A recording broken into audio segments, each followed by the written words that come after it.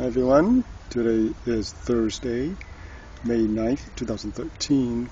A real quick update on my cucumbers. About a week ago, I showed you one of my videos uh, telling you guys what's growing in my plant, uh, in my garden, some of my plants. And here are the two cucumbers that I showed you guys last week. And now they have grown very well and actually producing fruits. So this guy is over three feet tall now, there's two guys here. And on my left here, here are the fruits, finally. So the fruits actually forming beautifully. Uh, they're very long, slender. I think it's about, what, uh, six inches now. And the bottom one here too.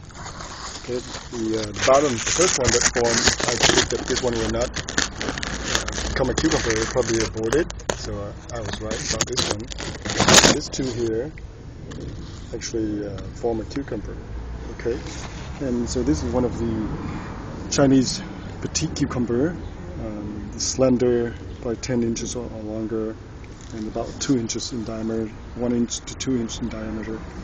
Very beautiful, smooth cucumber, crisp, uh, crispy, and it's kind of sweet too. So here's our the plant from the top here, only about, I believe, only about maybe 36 inches, a little bit taller and uh, the guy on the right is about the same height. Look at the leaf, how beautiful the leaves are. Green, nice green and huge leaves.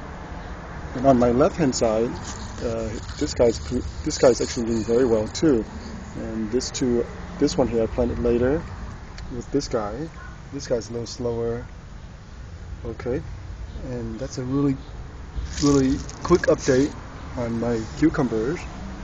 Uh, the weather's been crazy lately in California. So we have 90 degrees now. We have down to 70 degrees with slight with few rains.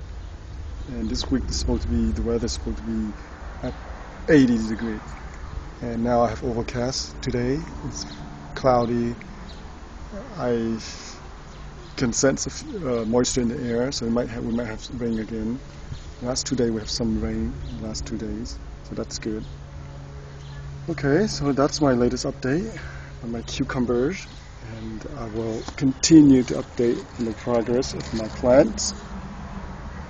And thank you for watching. Please subscribe to my channel.